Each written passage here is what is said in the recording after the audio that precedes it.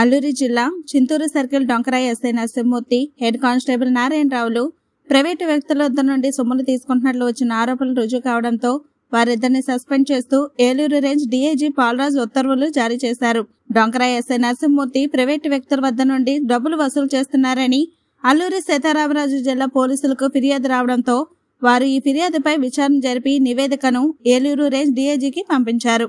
దీంతో Eluru range D I G ఎస్ఐని head కానిస్టేబుల్ని సస్పెండ్ చేస్తూ ఆదేశాలు జారీ చేశారు.